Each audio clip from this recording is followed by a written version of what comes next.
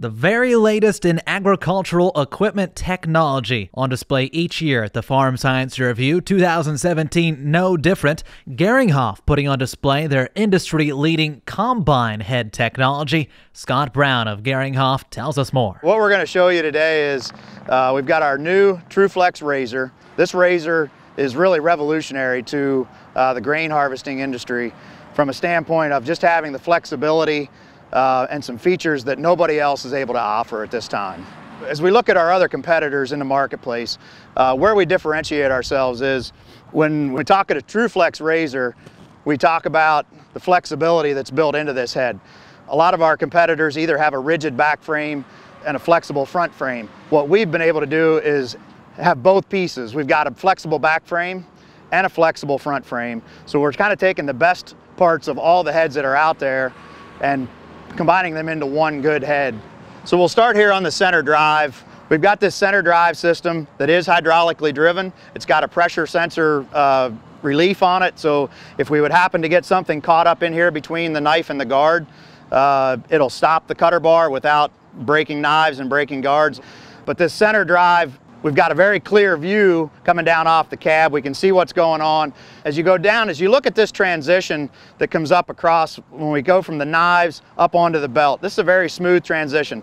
Some of our competitors have a much steeper incline or a much longer transition up onto that belt. We get the crop from the knives up onto the belt in a, in a short period of time without a lot of, uh, of incline or transition to, to get them up there. One thing that we do have that we're going to offer on this head is an integrated air system. The crop will get stuck in this transition or, or we'll lose beans. That air just keeps a constant airflow, flow, keeping that crop flowing up onto your belt and giving you uh, every advantage to get that crop and those beans that might shatter out of the pods during that transition period up onto that belt and eventually into your bin. As we go around the head, these real narrow dividers at the ends, certainly one of the advantages of our center drive system. Uh, again, it slices through the crop, uh, doesn't knock much down in real tight, uh, heavy population or tangled, twisted crops. As we step back and look at this reel, uh, we've got this three section reel. When you look at this head from the combine, when you're standing, when you're sitting in the combine operating this machine, all of our competitors uh, that have a split reel, the split is right at the center of the head. So their split system uh, you're looking at it all day. You're looking at two reel ends coming together uh, right in the center. Our machine, when you sit in the cab, you've got a clear view looking down right into your center section. A lot of the guys that have bought these heads or had a chance to run these heads have commented the visibility of this head that this head provides them over the competitive heads that are out there is tremendous. They have a much better view of that center section uh, where their drive system is, where the, where the feeder drum is, and where that center belt system is. It just gives you a much cleaner view uh, all day long instead of sitting there looking at a split reel all day. Okay, as we look at the back side of this head, again, it's where we set ourselves apart from most of the competitors on the market. We do have, on either side of the feeder house, we do have a hinge point that allows our wings to flex up and down. We've got 12 inches of, of, flex up and down out here at the end uh, on this wing.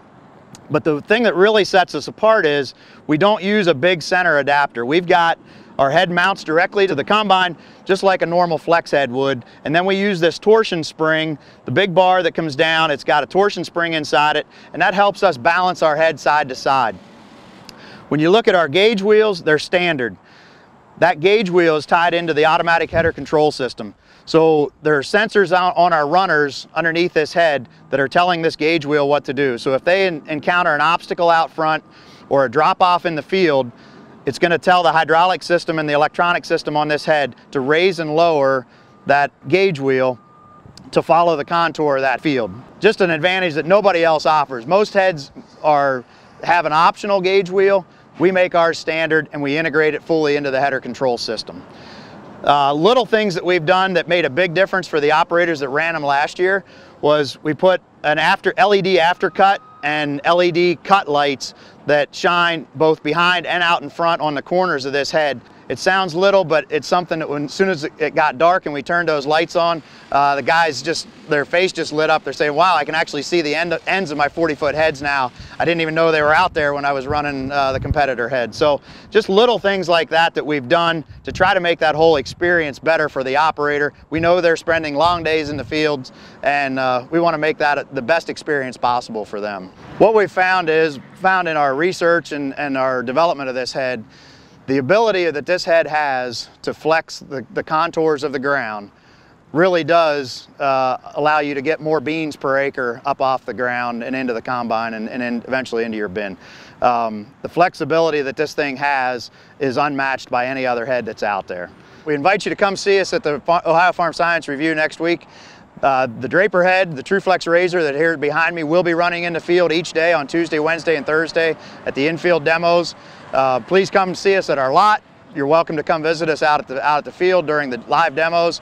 The other thing we will be showcasing next week at the Farm Science Review is our new Freedom corn head. It's our 15 inch row corn head uh, designed to harvest both 30 and 15 inch corn uh, rows uh, designed kind of for that customer that's thinking about transitioning from 30 inch corn to maybe something narrower, uh, but it's a, a, nice option. So that, that head will also be running in the field. The Ohio Farm Science Review team here has uh, actually been very generous and planted us 15 inch corn to harvest all three days with the Freedom head. So please come see us for that as well.